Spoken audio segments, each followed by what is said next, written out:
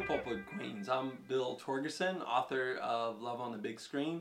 Uh, it is a Pulpwood Queen May bonus book club selection, so thank you very much to Kathy Patrick for that, and also thank you for the invitation down to Jefferson, Texas, where I got to take part in Girlfriend Weekend. Those of you who are there may not um, recognize me because I don't have my clown hat on, uh, I don't have my redneck wig, and my face isn't behind uh, a camera. Uh, I was working on, I am working on, and it's near finished, uh, a documentary film about the Pulpwood Queens uh, called For the Love of Books. And despite my shoddy camera work, I think it's going to be pretty enjoyable for many of you to watch, mostly because of your amazing con, uh, your amazing costumes and your passion for literacy, and also the great content from the authors. It was hilarious and smart, and I would uh, laugh and feel like crying all within the space of an hour. So, Love on the Big Screen tells the story of a college freshman whose understanding of love has been shaped by late 80s romantic comedies.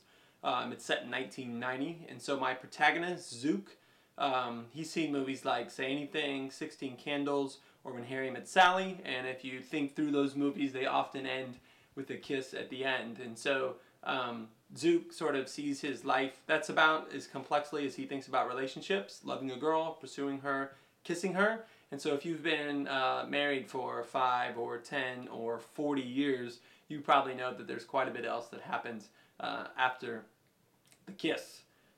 The book sort of, it draws on a lot of uh, my own experiences as well. Um, I think Zuke learns in a year but probably took me more like 30 for example, when I was a third grader, I remember uh, I moved to a new school. I had a crush on a girl. Um, I, of course, was I was not the sort of person who would tell her that. She passes me the note eventually, so I get the note, the dream note that I would want. Um, Will you be my girlfriend?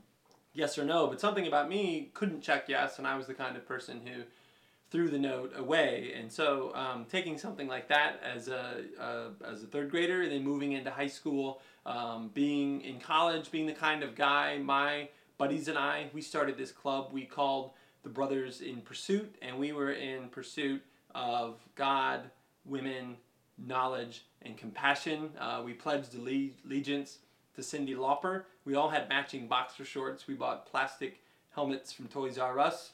Um, and so those things made it into the book. Um, I am not Zuke. I mean, just one of many examples is that uh, I became an English major um, because my dad kind of gave me a speech like the world needs ditch diggers too, and you're going to be one. So I went to school very frightened that I was going to flunk out. Um, but Zuke, and so I became an English major because my parents taught English and they could help me.